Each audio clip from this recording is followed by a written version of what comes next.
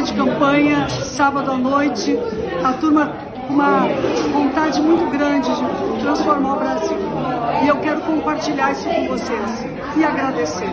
Agradecer cada pessoa que pegou uma bandeira na mão, que colou um adesivo, ou que conversou com uma outra pessoa sobre a importância de votar no Lula, no Edgar Preto, no Olívio Dutra e também para a deputada federal no nosso mandato, que é um mandato para transformação, para a mudança do Brasil e que nunca nos dobramos diante de qualquer das injustiças.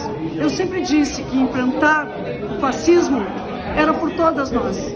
Quando nós fizemos todo o enfrentamento com o ódio e o terror de um parlamentar de quinta categoria que acabou por força do golpe e por força das fake news, chegando à presidência da República e tornando-se um genocida, que logo em seguida será julgado, quando nós fizemos o enfrentamento a tudo isso, nós fizemos por todas nós, por todos nós.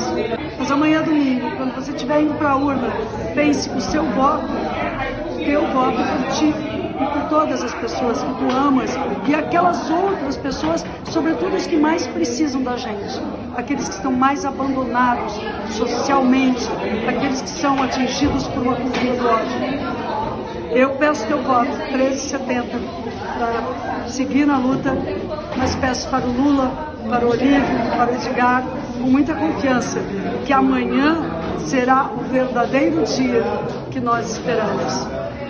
Este domingo é o domingo do Ele não, nunca mais, por tudo que nós já lutamos, por tudo que nós somos, por coerência, decência e por um Brasil justo. Muito obrigada, Rio Grande do Sul e Brasil.